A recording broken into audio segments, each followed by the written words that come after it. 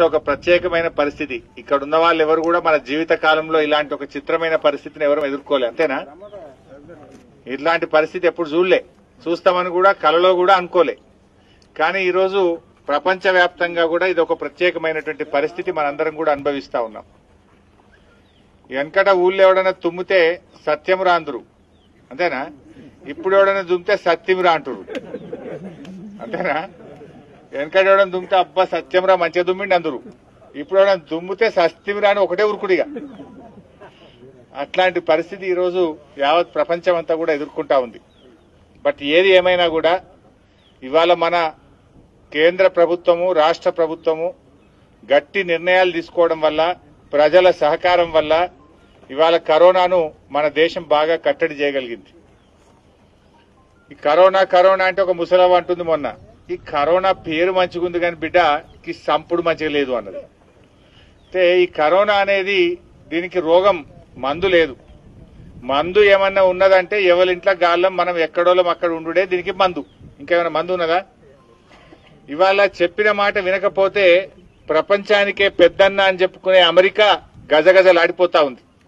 America అధ్యక్షుడు America గవర్నర్లు చెప్తే అక్కడ ప్రజలు వినక ఏ మాకేమైతుంది? మేము అమెరికా వాళ్ళం మాకు మందులు బాగా తెలుసు మాకు దవాఖాన్లు బాగున్నాయని ఇష్టం ఉన్నట్టు తిరిగినరు. ఏమైంది అలా పిట్టల్లాగా రాలిపోతున్నారు. శవాల గుట్టలు వెలకపోతున్నాయి అమెరికాల. అదేవిధంగా ఇటలీ చిన్న దేశం ఆరు కోట్ల జనాభా. అక్కడ కూడా వైద్యంలో వాళ్ళు ప్రపంచంలోనే మేటి. అలాంటి ఇటలీలో ఇవాళ మంచాలు సరిపోక వెంటిలేటర్లు సరిపోక ఎక్కువ తక్కువ మంది దవాఖాన్లకు వస్తే వయసోళ్ళని లోపల తీసుకుంటుండ్రు ముసలోళ్ళను బయట వారేస్తారు పాపం ముసలోళ్ళంతా కూడా విలవిలలాడుతూ కొట్టుకొని చచ్చిపోతున్నటువంటి పరిస్థితి వాళ్ళు ఇటలీ దేశంలో చూస్తున్నాం. ఆరు కోట్ల జనాభా ఉండే ఇటలీయే ఇలా ఆగమైపోతే నూట ముప్పై కోట్ల జనాభా ఉండే మన భారతదేశంలో ఆ రోగం కానీ పెరిగితే ఏమైతుంది మన పరిస్థితి? దయచేసి ఒక్కసారి ఆలోచించండి. ఇప్పుడు రాంగా నేను చూస్తా ఉన్నా ఒకటే పోతున్నాయి బండ్లు సిద్ధిపేటకు ఎందుకే? ఏం పడినదే ఒక నూరు నూట యాభై మోటార్ సైకిల్ పోతున్నాయి మన ముస్తాబాద్ రోడ్డు మీద. అంత అవసరమా? ఇళ్ళలో ఉండండి ఎక్కడి వాళ్ళక్కడ ఉండండి. అత్యవసరమైతే తప్ప బయటకు రావద్దని చెప్తే కూడా కొంతమంది వినకపోవడం వల్ల అనవసరమైనటువంటి ఇబ్బందులు మనం కొని తెచ్చుకునే వాళ్ళం అవుతాం. మీ అందరినీ కూడా కోరేది ఒక్కటే లాక్డౌన్ ఉన్నంత కాలం ఎవరూ బయటకు రావద్దు.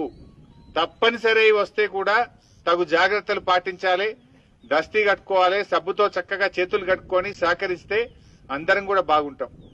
బట్ ఏది ఏమైనా ఒక దిక్కు కరోనా మీద కొట్లాడుతున్నాం ఇంకో ఈ వీడియో మీకు నచ్చినట్లయితే ఈ వీడియోని లైక్ చేయటం కామెంట్ చేయటం షేర్ చేయడం మర్చిపోకండి. అండ్ అలానే మా ఛానల్ని తప్పకుండా సబ్స్క్రైబ్ చేసుకోవడంతో పాటు పక్కనే ఉన్న గంట సింబల్ని గట్టిగా కొట్టండి.